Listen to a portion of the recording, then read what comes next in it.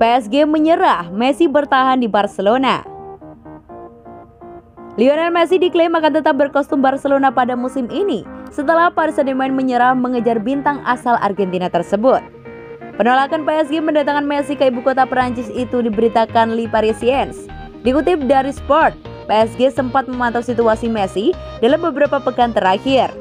Akan tetapi setelah mengetahui kondisinya, Les Parisiens memutuskan membatalkan keinginan membawa La Pulga ke Paris Princess pada musim ini.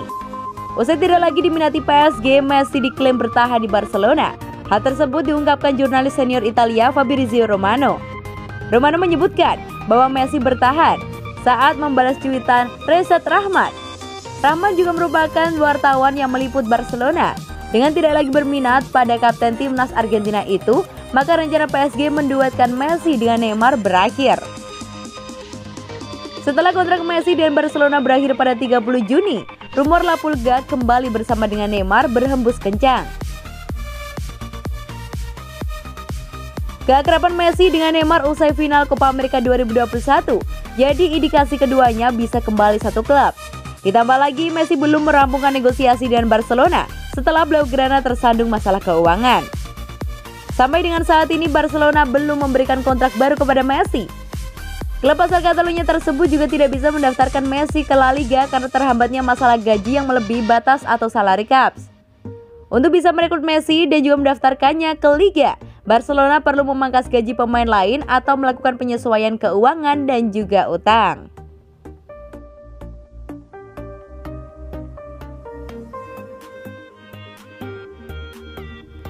Pemain Barcelona pertanyakan pemotongan gaji, tapi terus datangkan pemain baru. Barcelona telah kembali berlatih siap untuk pramusim dan juga musim baru. Namun ada banyak ketidakpastian terkait dengan situasi keuangan klub seperti yang diberitakan Football Espana. Squad menyadari dan juga memahami perlunya manajemen klub untuk menurunkan tagihan gaji yang juga untuk menjual pemain berpenghasilan tinggi dengan kontribusi rendah. Apa yang tidak para pemain pahami menurut Diario Sport adalah Bagaimana Barcelona bisa mengaku krisis ekonomi, tetapi kemudian bergerak di bursa transfer pada saat yang bersamaan. Barcelona telah menjual dan melepaskan para pemain yang berkontribusi minim, tetapi mereka juga telah mendapatkan empat pemain baru, yaitu Emerson Royal, Eric Garcia, Sergio Aguero, dan Memphis Depay. Mereka membayar 9 juta euro ke Real Betis untuk Emerson dan membawa tiga lainnya dengan status bebas transfer. Tetapi semuanya akan terbukti mahal ketika mempertimbangkan gaji mereka masing-masing. Para pemain mulai bertanya-tanya bagaimana klub bisa memaksa mereka untuk mengambil pengurangan gaji sekaligus membawa pesaing untuk tempat di starting line up. Selain itu mereka juga masih harus terus mengurangi beban gaji untuk mengontrak kembali Lionel Messi. Para pemain tentunya semakin dalam ketidakpastian apakah masih bertahan atau dijual oleh manajemen.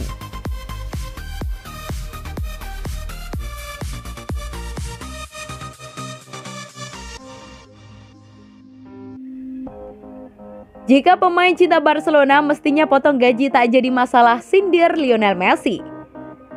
Menteri Ekonomi dan Keuangan Catalunya Jaume Giro turut memberikan masukan kepada para pemain Barcelona agar bersedia menerima pemotongan gaji demi keberlangsungan klub. Apakah ini sindiran bagi Lionel Messi? Persiapan Barcelona untuk menghadapi kompetisi baru musim 2021-2022 cukup terganggu. Bukan masalah cedera pemain, tetapi Barcelona tengah menghadapi krisis finansial yang serius. Barcelona diketahui menelan kerugian hampir 600 juta euro atau sekitar 10,28 triliun akibat dari pandemi COVID-19. Sebagian besar kerugian yang dialami Al Barca dari segi finansial bersumber dari beban gaji para pemain. Barcelona diketahui juga telah mengeluarkan biaya mencapai nyaris 350 juta euro atau sekitar 5,99 triliun hanya demi membayar gaji Lionel Messi CS pada musim 2020-2021. Al Barca yang kini dipimpin oleh Presiden klub Joan Laporta semakin tak bisa bernapas setelah La Liga mengeluarkan aturan baru mengenai pembatasan gaji. Hal itu mau tak mau membuat Barcelona harus menekan pengeluarannya di sektor gaji pemain hingga menjadi 150 juta euro pada musim kompetisi baru nantinya. Mengingat salary cap yang telah melewati ambang batas, Barcelona belum bisa mendaftarkan para pemain barunya untuk kompetisi Liga Spanyol. Tiga pemain yang telah didaratkan Barcelona pada musim panas tahun ini adalah Eric Garcia, Sergio Aguero, dan Memphis Depay. Eddie Garcia, Sergio Aguero, dan Memphis Depay harus menerima nasib belum terregistrasi sebagai pemain resmi Barcelona di Liga Spanyol akibat kasus salary caps tersebut. Selain menekan anggaran gaji, El Barca juga tengah disibukkan untuk menggait kembali kapten mereka, yaitu Lionel Messi. Status Lionel Messi saat ini adalah bebas transfer seiring kontraknya yang berakhir pada 30 Juni di Barcelona. Sejumlah pihak menilai Barcelona tidak mungkin memberikan sejumlah gaji yang sama untuk Messi jika berupaya menyodorinya kontrak baru.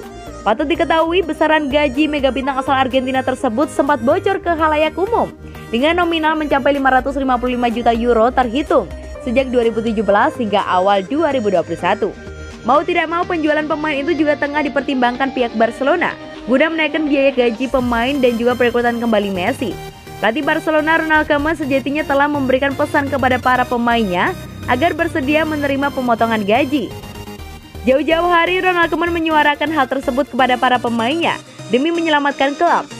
Pendapatan yang sama juga dikemukakan oleh Menteri Ekonomi dan Keuangan Katalunya Jaume Giro.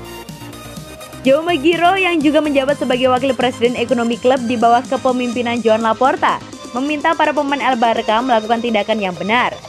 Giro berharap pemain Barcelona menyetujui rencana pemangkasan gaji jika mereka benar-benar mencintai klub. Para pemain harus melakukan hal yang benar. Jika mereka mencintai klub, mereka harus menyetujui pemotongan gaji. Mereka telah digaji dengan sejumlah uang yang mencengangkan di masa lalu, bahkan dengan kekalahan menyakitkan di kompetisi Eropa. Tapi sekarang mereka harus membuat pengorbanan pribadi untuk Barcelona. Bahkan setelah dipotong, mereka masih akan mendapatkan nominal lebih dari seseorang dengan empat gelar universitas yang mampu berbicara tiga bahasa yang berbeda, kata Giro dikutip dari RLC One.